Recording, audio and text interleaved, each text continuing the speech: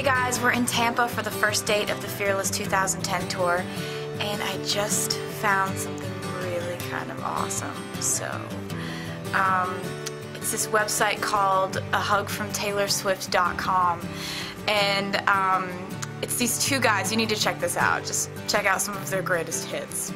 We're going to uh, do something big.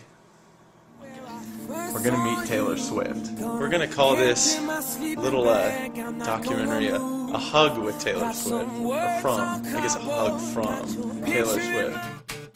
Hello. We are making t-shirts. And Taylor, I promise you this, that if you do want to give us a hug, we can make you a t-shirt. And we will give it to you, and hopefully you will wear it all the time. and accept it. And accept it, it.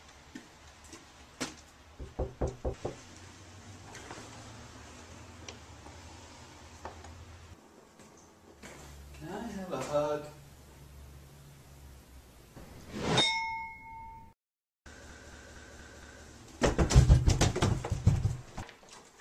Can I have a hug?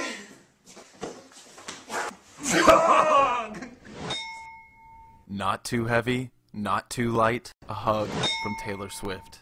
I got a hug! The difference I got is huggability. As you can see, we have made our shirts, and we still hold by our promise that if you accept our hug, Taylor, we will make you a shirt. And I hope you wear it all the time. And I promise you, we won't even hug you like that. That was just a joke. Look, she's staring at us. Oh, okay. So we were kind of thinking these guys seem like seem very dedicated, very very very dedicated, and and they seem like they would be game for some challenges or something like that. Challenges. Like um, We can do challenges. Yeah. very best at we Yes, something fun. Okay. And um, and maybe they would video them and put them up on their site so that I can see it. And um, okay, so maybe we have to think about Some activities.